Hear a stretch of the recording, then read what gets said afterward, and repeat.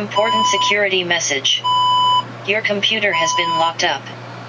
Your IP address was used without your knowledge or